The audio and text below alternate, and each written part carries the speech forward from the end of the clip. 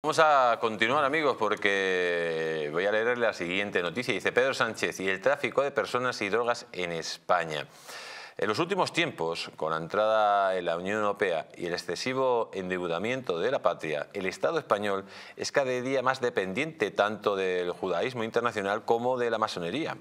Pero en los últimos cinco años, que coinciden con el desgobierno de Pedro Sánchez y el PSOE, se han practicado una política de puertas abiertas que permite la entrada en España de cualquier delincuente que lo desee, con la seguridad además de que aquí los delincuentes tienen más derechos que los policías y guardias civiles. Ha aumentado una barbaridad el tráfico de personas como si fuera una mercancía cualquiera por parte de organizaciones criminales que campan a sus anchas y que piensan y no les falta razón que aquí todo el monte es orégano. Lo mismo sucede con la llegada de toneladas y toneladas de toda clase de drogas, tanto de los narcodictaduras de Hispanoamérica, tan relacionadas con Sánchez, como de nuestro vecino, más bien enemigo del sur, Marruecos. Un país que está inundado los supermercados españoles con sus productos, pues eh, debido a que allí la mano de obra es más barata, puede competir con precios más bajos. Eh, infinita caridad pues no tienen obligación de cumplir ninguno de los requisitos de la Unión Europea que impone a los agricultores españoles. Y la pregunta que nos hacemos todos, eh, y la hago para todos, ¿tanta, tanta dedicación de Sánchez o de este gobierno con Marruecos, pues eh, no solo nos está poniendo en una situación muy delicada, con respecto al tráfico de drogas, con el tráfico de personas, sino también con otra serie de circunstancias. Eh, ¿Creen que hay algún posible pacto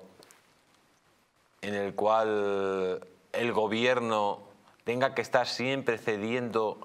a Pedro Sánchez o algún tipo de chantaje tenga que estar eh, Sánchez cediendo a Marruecos?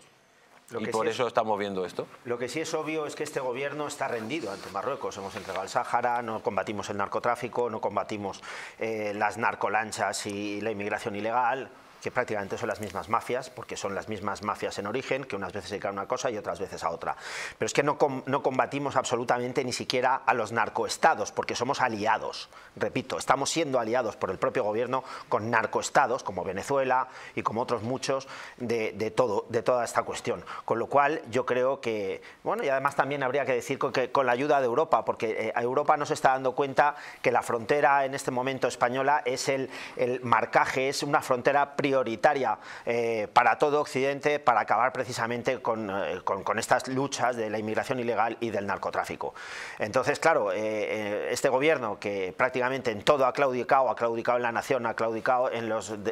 derechos y libertades fundamentales, claudica en las mafias del narcotráfico, en las mafias de, las drogas y de la delincuencia, claudica en la inmigración ilegal, claudica en las aguas jurisdiccionales, claudica directamente con los mandamientos de la ONU como fue eh, sobre el Sáhara. Eh, claudica absolutamente en, política internacional y en política nacional de seguridad, en todo, entonces lo que tenemos que llegar a entender es que colabora activamente, repito, la aseveración, colabora activamente porque el que no pone los medios suficientes para acabar con esto es un colaborador activo de toda la mafia que existe no solo del narcotráfico y de la inmigración ilegal, sino de los narcoestados.